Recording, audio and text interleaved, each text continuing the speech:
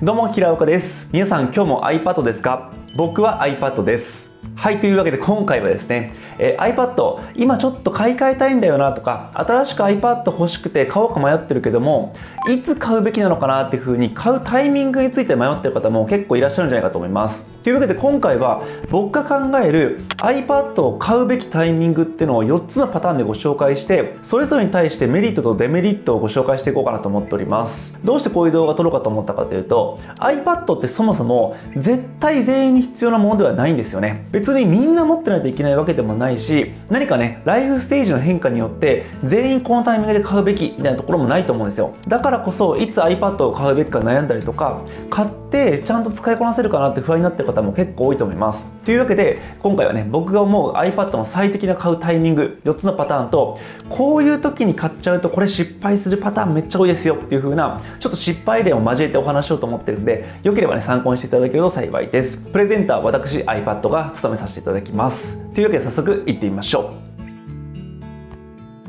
はい、というわけで今日は iPad を買う最適なタイミングについて4つのパターンでご紹介しようと思います。まずそのパターンからご紹介すると、1つ目が欲しいと思ったらすぐに買う。2つ目が新製品が出たらそのタイミングで買う3つ目が新しいことをしたいって時に iPad を買う4つ目は現状に不満を感じたら買うってことでこの4つのパターンがあるかなと思います。それぞれについてメリットとデメリット注意点についてお話していきます。まず1つ目の欲しいと思ったらすぐに買うってところなんですけどももうこれは簡単ですよね。iPad 欲しいなと思ったら迷ってる間に買っちゃいましょうっていう風なお話です。個人的にこの買い方は意外と間違ってないというか、まあ、正解に近い買い方なんじゃないかなという風に思っておりましてまずメリットとしては欲しいと思ってからすぐに iPad を購入するんでその分長い期間 iPad を使いこなすことができるって点ですね。もちろん iPad そんなに安い買い物ではないからこそ結構ね長い間買い時を迷ってる方いらっしゃると思うんですよ。買おうかないつ買おうかな買って使うかなみたいな形で2ヶ月3ヶ月くらい検討を重ねているとその間ってのは iPad を使えないわけじゃないですか。なので考えようによっちゃこの3ヶ月すごい損してるっていう風に思うこともできると思うんですね、まあ、とは言ってもね買う前にいろいろやっぱり考えなきゃいけないこともあるし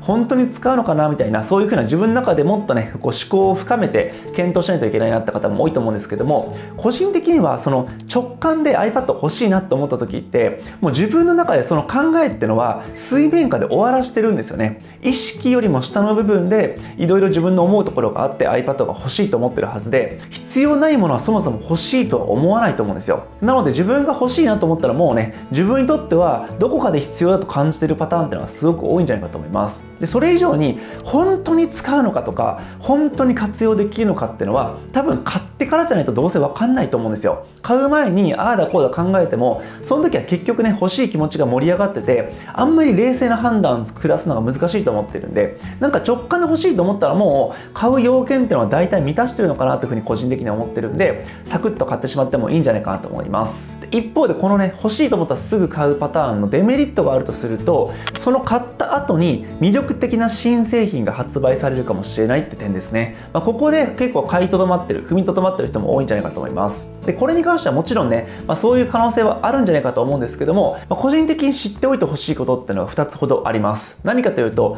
1つ目は Apple 製品は購入して2週間以内なら Apple 公式から購入したものに関しては返品が可能なんですね。で次に知ってほしいことは未来のことは誰にも分かんないっていう点ですね、まあ、この点について結構こう勘違いしてるというか結構過信しきってる方が多いかなと思っていてあのいつ iPad 新しいものが出るって本当に分かんないと思うんですよね、まあ、もちろん例年こんな感じで出てるとか噂でこうなってるとかってたくさんあるんですけども今まで Apple の新製品の噂が外れたことなんて山ほどあるしむしろ当たってる方が少ないからこそ噂だと思うんですよ、まあ、そういう形で噂はあんまり過信しすぎない方がいいと思っていて例えば無印 iPad 第10世代今最新の無印 iPad なんですけどもこちらもねスペック自体基本的にはかなり魅力的にアップグレードされたんですけども Apple Pencil だけ唯一第2世代じゃなくてここがかなり残念だったって声もねすごく多かったんですよ。でこれ誰が予測できましたかって話でもちろんね大雑把にこういう風な進化をしていくみたいなことは噂であってもそういう細部の最終的なスペックまでは誰にも分かんないと思うんであんまりこの来月なんとかが新製品出ると思うんでみたいなそういうことはあんまりこう期待しすぎると裏切られることの方が多いんでそれはやめた方がいいんじゃないかと思います。それよりも自分が欲しいってなったら自分の気持ちの方に従った方が僕は後悔が少ないんじゃないかと思います。これが1つ目のパターンですね。え次は2つ目のパターン。新製品が発売されたらすぐその機種を買うっていう風なそういう買い方なんですけども、まあ、これも結構やる人多いんじゃないかと思います。新しいものが発売されたからそれに予約を入れて発売日に到着して買うみたいな、まあ、こういう買い方ですね。僕もこれよくやります。でこういう買い方に関してメリットで言うとやっぱり最新機種を最新の発売日に買うということなんで買うタイミングとしてはバッチリだと思います。一番新しい機能をちゃんと使うこともできるしあとね理論上サポート期間が一番長くなるのが発売の当日に買うことなんですね。なのでこういう意味では長く使うことができるって点も結構いい買い方なのかなというふうに思っています。でも一方で意外とこの買い方もデメリットがあるなというふうに思っていてまず1つ目がこれ予約に失敗すると結構買うまで時間かかってしまうっていうふうなお話ですね。特に最近の iPad とか Apple 製品って割とこう初回の予約の数が限られたりとか多分半導体の影響とかでねたくさんものを作れなくてこう予約が当日ですぐいっぱいになっちゃって本当に1日予約が遅れただけで納期3ヶ月待ちですみたいなことってザラにあったりするんですよ、まあ、こうなっちゃうとですね3ヶ月まず待たなきゃいけないっていうところが大きなデメリットになるし3ヶ月後ってなると最新機種のこのちょっと嬉しさっていうのもちょっと落ち着いてきちゃうと思うんですよ。なのであんまりこのね最新モデルの発売日に買うっていうメリットが得られないままお預け食らってしまうところが一つ注意かなと思ってるんで予約は遅れないようにする必要があるかなと思います。でもう一つ注意なのがこの最新機種が出たから買うっていうのは実は自分の方に買う理由っていうのがあんまり持ててないと思うんですよね。もちろんこの最新機機種のこの機能そうこの機能最新機能が出たからこれ使いたかったんだよねっていうのであればめちゃめちゃいいと思うんですよね。自分の欲しかった機能が最新機種に実装された。だから買う。これはすごく自分発信の購入動機だと思うんですよ。でもそうじゃなくて別にねこう新しい最新機種が必要なわけじゃないけども新しいのっていいよねとかねせっかくだったら新しいの欲しいなみたいな形で買ってしまうのって意外と自分に購入動機がなくて外側最新機種が出たからとかそういうところに購入動機があってしまうとあんまりこれね買ってからうまく使いこなせないパターンって多いと思うんですよ。そのね最新だったりとか新しいっていうその価値っていうのは絶対にどんどんどんどん減っていくんですよね。当たり前なんですけども。そうなった時にちゃんとその iPad を使いこなすことができるのかモチベーション高く活用しようと思えるかっていうのは自分の気持ちの側にしかなくなってくると思うんでここですね。自分がどういうふうに iPad を使いたくて購入したいかっていうこの自分の気持ちなくしてなんとなく新しいものが出たから反応的に買うっていうのはちょっと失敗しやすいんじゃないかなと思うのでここは注意してほしいなというふうに思います。次はパターン3つ目。新しいことを始めるときに iPad を買うってパターンですね、まあ、例えばこれからのシーズンだったら新生活新しく大学生になったから iPad を買おうとか社会人になったから iPad を買おうとか、まあ、そうじゃなくても例えばなんだろうな、えー、ブログ始めてみようと思って iPad を買って更新するとかインスタグラム頑張ろうと思って写真を撮ったり写真編集するのに iPad を使うとか動画編集でもいいですよね。そういった自分の新しいライフステージとか新しい作業に合わせた iPad を買うっていうパターンです。このパターンのいいところっていうのは買う理由がすごく明確なのでそれに合わせて自分の必要な機種をチョイスしやすいところがまず1つメリットかなと思います。例えばブログを始めたいんだったらキーボード付きの iPad を選んだ方がいいと思うし動画編集をしたいんであれば割と性能が高くてストレージもたっぷりある iPad を選んだ方がいいと思うし大学生になってノート代わりに使いたいんであれば Apple Pencil が対応しているような iPad を選んだ方がいいっていう風に、まあ、自分のしたいこと自分の新しいスタートに合わせて iPad を買うと、まあ、その時に使いたい相棒はどれかっていう風な機種のチョイスがしやすいし購入する理由がそもそも自分の方にあるんでなんか反応的に購入してしまうってこともないんでこれね長くずっと使いやすいのかなというふうに思っています。でメリットの2つ目がやっぱり新しいことを始める時って結構パワーがいると思うんですよ。例えば僕なんかもずっとブログ文章を書いてたところから YouTube って動画を始めて結構最初ってね動画の撮り方も分かんないし編集も難しいしいろんなストレスがあって、まあ、そういった挑戦って結構ストレスが伴うものでモチベーションも低下しやすいと思うんですよ、